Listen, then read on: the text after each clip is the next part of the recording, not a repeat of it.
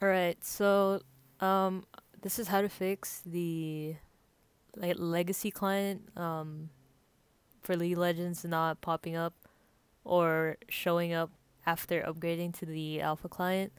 So it used to not work for me. By the way, shout out to John for helping me out with this. He's it was his idea.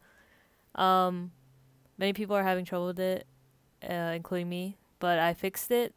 Um and all you really have to do is run it as an administrator and the alpha client should pop up.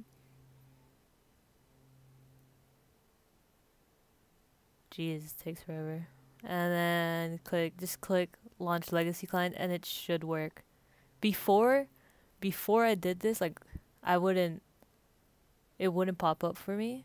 Like if I if I didn't run the thing as administrator and I click launch legacy client, it wouldn't pop up for me. So I would just use the alpha client stuff, but um, after running the program as administrator and launching it, uh, you know, how you usually would, it would it popped up, and um, after that, it, it I could do it even without um, running it as an administrator. So you you only really need to do it once.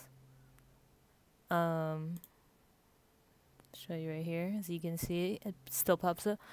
And I'm not trolling you. Like I swear, it wasn't working for me. Obviously, I can't prove it or like show it now because it works now. So yeah, I, but um, you can give it a try.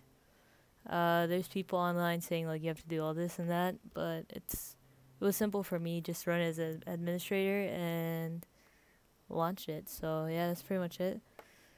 Hopefully this helped. If not, um, yeah, unlucky.